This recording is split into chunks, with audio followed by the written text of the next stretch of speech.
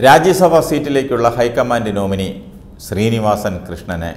മുൻപ് A C C സെക്രട്ടറിയായി നിയമിച്ചപ്പോൾ കെ പി സി സി മുൻ അധ്യക്ഷൻ വി എം സുധീരൻ ഉന്നയിച്ച ചോദ്യമാണ് സമൂഹ മാധ്യമങ്ങളിൽ വീണ്ടും ചർച്ചയാകുന്നത്. ആരാണ് ഈ ശ്രീനിവാസൻ എന്നായിരുന്നു അന്ന് സുധീരന്റെ ചോദ്യം. ശ്രീനിവാസന്റേത് പിൻവാതിൽ നിയമനമെന്ന് വിമർശിക്കുകയും അന്നത്തെ ദേശീയ അധ്യക്ഷൻ രാഹുൽ ഗാന്ധിയെ എതിർപ്പറിയിക്കുകയും സുധീരൻ ചെയ്തിരുന്നു. സുധീരന്റെ അന്നത്തെ വിമർശനക്കുറിപ്പാണ് ഇപ്പോൾ സോഷ്യൽ മീഡിയയിൽ ചർച്ചയാകുന്നതും വൈറലാകുന്നതും.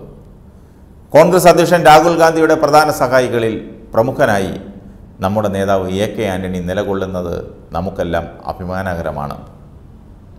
ജനാധിപത്യ മതേതര മുന്നേറ്റത്തിന് ആവേശകരമായ നേതൃത്വം കൊടുക്കുന്ന രാഹുൽജിയെ ലക്ഷ്യത്തിലെത്തിക്കുന്നതിൽ സഹായകമായി കെ സി വേണുഗോപാലും പി സി വിഷ്ണുനാഥും നിയോഗിക്കപ്പെട്ടതും ഏൽപ്പിക്കപ്പെട്ട ചുമതല തങ്ങളാലാവും വിധം ഭംഗിയായി നിറവേറ്റുന്നതും സന്തോഷത്തോടെയാണ് നമ്മളെല്ലാവരും കാണുന്നത്. കഠിനാധ്വാനിയായ മുൻ മുഖ്യമന്ത്രി ഉമ്മൻചാണ്ടിയെ എ സി സി ജനറൽ സെക്രട്ടറിയായി നിയമിച്ച് ആന്ധ്രയിൽ കോൺഗ്രസിനെ ശക്തിപ്പെടുത്താൻ നിയോഗിച്ചതും നമ്മുടെ ആത്മവിശ്വാസം വർദ്ധിപ്പിക്കുന്ന നല്ല കാര്യമാണ്. എന്നാൽ ഇപ്പോൾ ഒരു ശ്രീനിവാസൻ എ സി സി സെക്രട്ടറിയായി വന്നിരിക്കുന്നത് അത്ഭുതത്തോടും തെല്ലൊരു ഞെട്ടലോടെയുമാണ് കേരളത്തിലെ കോൺഗ്രസ് പ്രവർത്തകരും കോൺഗ്രസിനെ സ്നേഹിക്കുന്ന സാധാരണ ജനങ്ങളും അറിഞ്ഞത്. ആരാണി ശ്രീനിവാസൻ? എന്ന ചോദ്യമാണ് വ്യാപകമായി പാർട്ടി പ്രവർത്തകരുടെ മനസ്സിൽ ഉയരുന്നത്.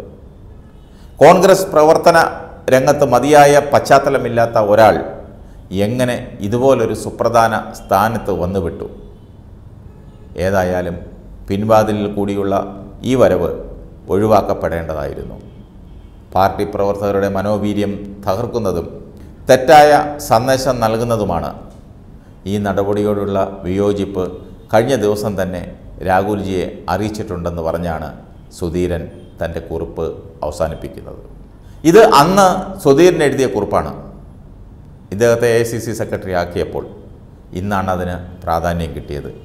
കേരളത്തിലെ ഓരോ കോൺഗ്രസ്സുകാരനും ചോദിക്കുന്ന ചോദ്യമാണിത്. തൃശൂർ സ്വദേശിയായ ഇയാൾ റോബർട്ട് വാദ്രയുടെ കച്ചവട പങ്കാളിയാണെന്നാണ് ലഭിക്കുന്ന വിവരം.